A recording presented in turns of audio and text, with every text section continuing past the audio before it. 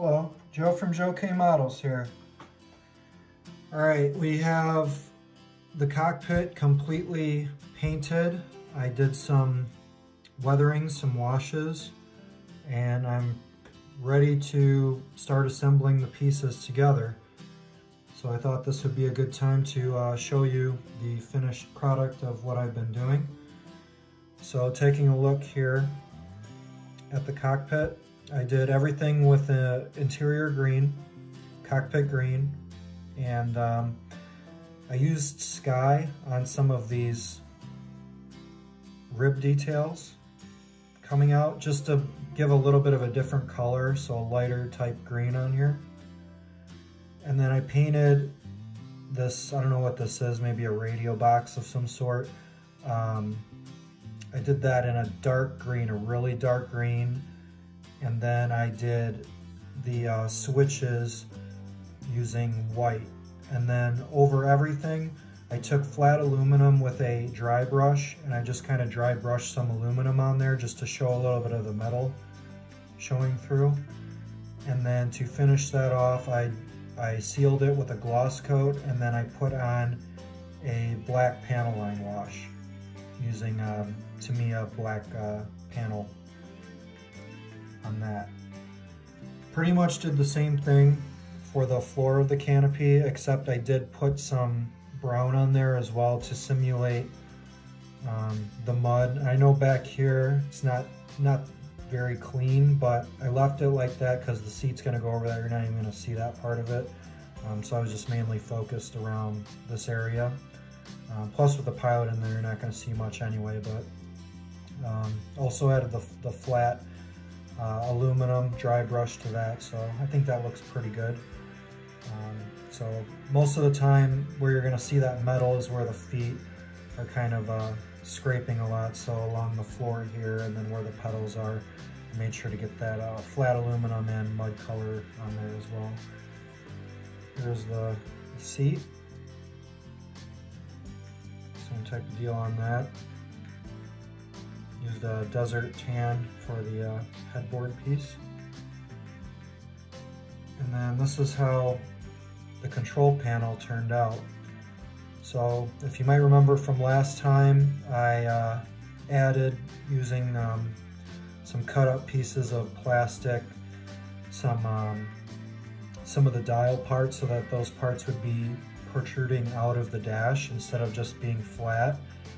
So I added the decal to it and I used um, a lot of the, the Mr. Mark Setter Strong on there. So I put that on there after I did a gloss coat, put the decal on there and then um, put some more on it to help it adhere.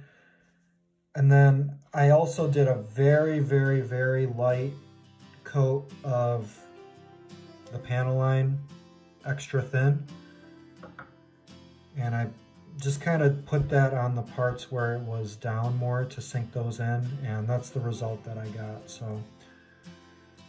Let's take a look at how these different pieces come together. So taking the seat this piece is just going to go on here.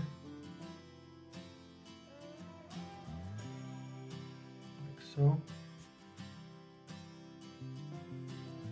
have the control panel. Let's get the guy in there first.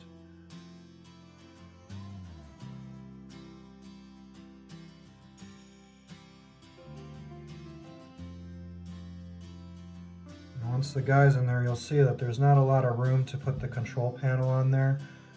I kind of opened it up a little bit, so let's see if we can't get that in there now.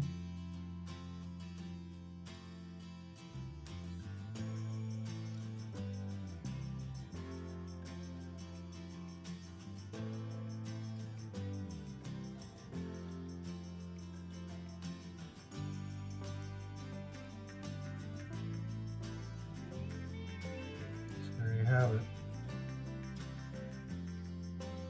I think fits together pretty well. Guy's a little bit too big. His feet aren't exactly in the right spot. I thought about maybe chopping his legs off, but I think we might be able to work with that. It's not perfectly straight, but I'm not looking for him to be perfectly straight. I mean, people move all the time inside the cockpit, so let's see how this goes in here. So as you can see, there's a piece right there. This just fits right up on there, like so. And that's all you do, just fit it like that. So let's get the second half on here.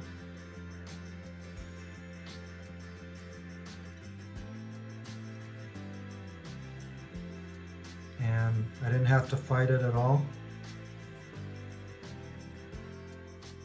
Snaps right into place. As you can see the headboard is right there.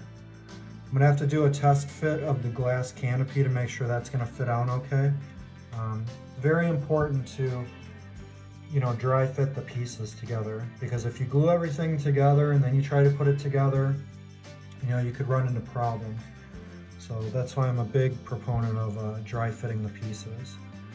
Um, another thing that I'm gonna do is before I even get to this step of gluing these parts in here, is I'm going to glue everything just like how it is sitting in here. So that way, once I have the control panel, the seat, and everything glued into place, I'll know that all I gotta do is just stick it in right there and it's not gonna, it's everything's gonna fit perfectly because it's already sitting in the correct position. So adding a little bit of glue right now is gonna really get those in the right spot. And then once it dries, I can take this out and then glue the other sides together and then put it on afterwards.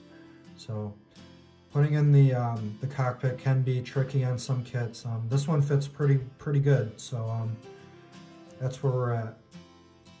So you're not gonna see a lot of the detail, you know, I mean, from a top perspective, all the work that you did in there, but I guess it's documented on video, so I know it's in there. And here's the pilot with this control panel. I think the control panel turned out very good. I'm, I'm, very pleased with that. So I think moving forward, I might be doing something similar with those. So that's where I'm at. Wanted to make a video, show you guys where I am now that all of the interior details are complete. And um, I'm going to continue on. I'll see you on the next vlog. Thank you very much. Joe from Joe K Models.